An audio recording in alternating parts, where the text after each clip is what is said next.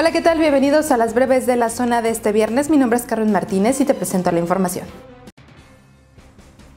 Alejandro Macías Hernández, infectólogo y excomisionado nacional para la prevención y el control de la influenza AH1N1, advirtió que el transporte público es uno de los lugares donde hay más riesgo de contagio de coronavirus, por lo que el uso del cubrebocas, mascarillas, higiene de manos y ventilación es indispensable. Recomendó que en la medida de lo posible se mantengan las ventanillas abiertas, además de ubicar puntos de prueba para detectar los focos de infección. El alcalde Héctor López Santillana expuso que al menos el 40% de los casos registrados positivos en el municipio son asintomáticos, es decir, 940 casos.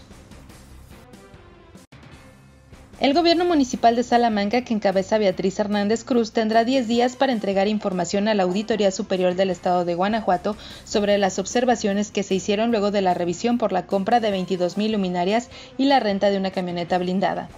El jueves pasado, el Congreso local aprobó el informe de resultados que presentó la ASEG, donde detectó irregularidades por cerca de 43 millones de pesos tras la adquisición de las luminarias y el arrendamiento de la camioneta a la empresa Soluciones Móviles Hidalgo.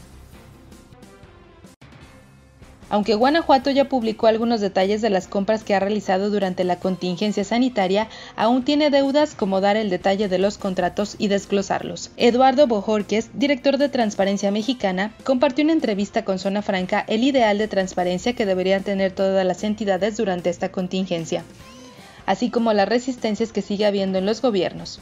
Incluso adelantó que el estado de Guanajuato se ha acercado para asesorarse.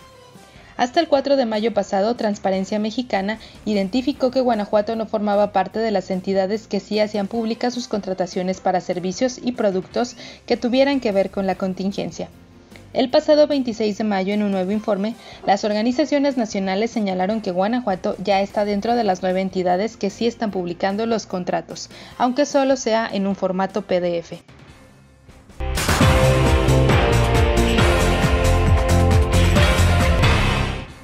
Quédate pendiente de todo nuestro contenido en zonafranca.mx y no te olvides de seguirnos en nuestras redes sociales. Más tarde ve el bloque informativo que te presenta Vania Jaramillo.